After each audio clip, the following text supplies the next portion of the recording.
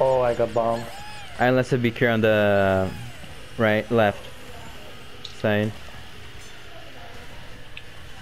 Snipe. Okay.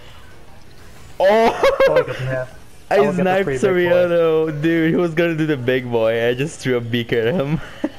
I just hit the big boy. It was free. Okay, I've got red beaker. okay, I am going to launch a bomb and